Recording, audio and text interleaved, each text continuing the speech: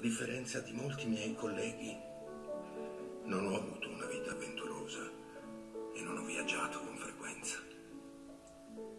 Sono stato un uomo malato che ogni tanto guariva, piuttosto che un uomo sano che talvolta cadeva.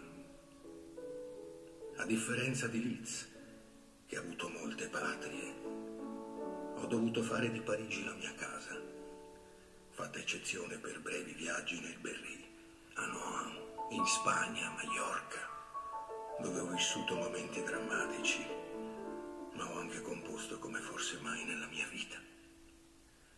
E negli ultimi anni per un infernale viaggio in Inghilterra è divenuto presto di dominio pubblico che mi portarono lontano da Parigi le ragioni del cuore. La donna che amavo, colei alla quale più di ogni altra